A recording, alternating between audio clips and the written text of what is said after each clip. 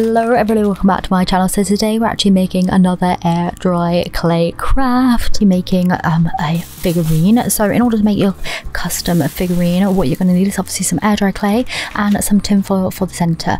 I usually use polymer clay and resin for this, but I've actually been trying out something new and using air dry clay. I think it's more accessible in lots of other places and I'm trying not to use resin so much in my real life anymore due to, you know, all the little nasties that go into it.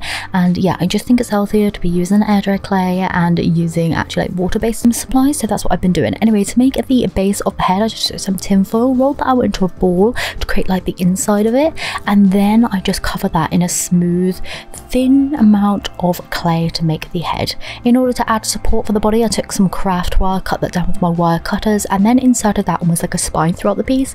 I wrapped some more tin foil around the base of it to make the kind of base of the body and covered that in clay as well and just smoothed that out blending it into the head.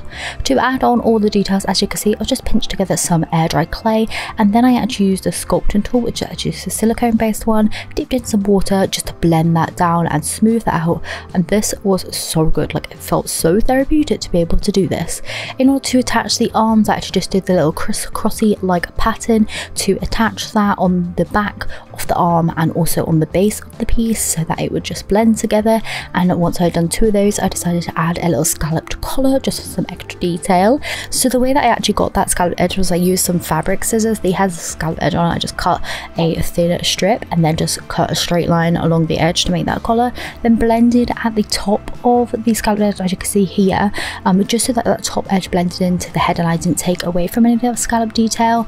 I then added a little bow as you can see tiny little balls and I just kind of stuck the end of my silicone sculpting tool into either side of those and stuck another ball in between. So I'm not gonna lie like working with air dry clay is definitely a much different task to working with polymer clay obviously um, you have to like blend it differently you've got to use water to smooth it out you can have a, like a limited window in order to obviously like work with it because it does dry out. And you have to wait a while for it to obviously dry out as well. You can't just pop it in the oven because else it will crack. Um, but yeah I've been really enjoying learning the new skill of like working with air dry clay as opposed to polymer clay with all the plastics and obviously trying to avoid the resin as well because I'm trying to just be a little bit healthier at the moment. But yeah once I had all of the sculpting done I added the eyes on the buttons on and it was all smooth and I was happy with that I just inserted an eye pin so that it gave it a little um, hole there to dry and I left that for about a day. So I'm gonna leave this little break here as a little thank you to today's sponsor. Because if you're also looking to learn another new creative skill like I am this autumn then today's sponsor Craftsy will be exactly what you need. Craftsy is an online community of creatives helping like-minded makers like you and me to level up their crafts with over 2,000 classes in more than 20 creative categories including baking, cake decorating, drawing sewing, painting, there's always something new to learn. I'm learning how to crochet the cutest corn dog plushies as I join the new Craftsy class Funny Funiguri by Brenda KB Anderson. This class is excellent for beginners like me as she shares step-by-step -step demonstrations and there's even bonus PDF instructions for me to take on the go. She also shares how to make the cutest cat burgers I know you guys will absolutely love. Just look how cute they are. I can't wait to make them myself.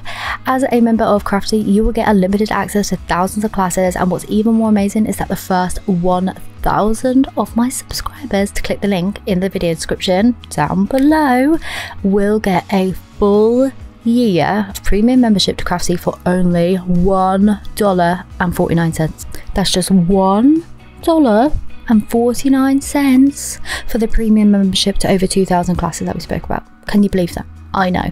Anyway, the links to everything will be down in the description for you to check out. Thank you so much to Craftsy for sponsoring this portion of today's video and back to the painting and glazing of our little custom figure. So like I said, painting wise on the air dry clay, this again is a little bit different to polymer clay. I find that acrylic paints don't quite stick as well to the base of air dry clay unless you water down the first coat first. So with the white on the hat of mine, for example, I did a nice like 50-50 ratio of acrylic paint and watery kind of mixture to begin with and just coated the whole thing in that and then I went in with the details. So I painted the face in so it looked like it was wearing a costume. I painted all the base in the pink pink so it looked like it was like wearing a nice little pink sleep suit painted in the details like the bow and the collar and the buttons in this gorgeous like off red raspberry color. Love this.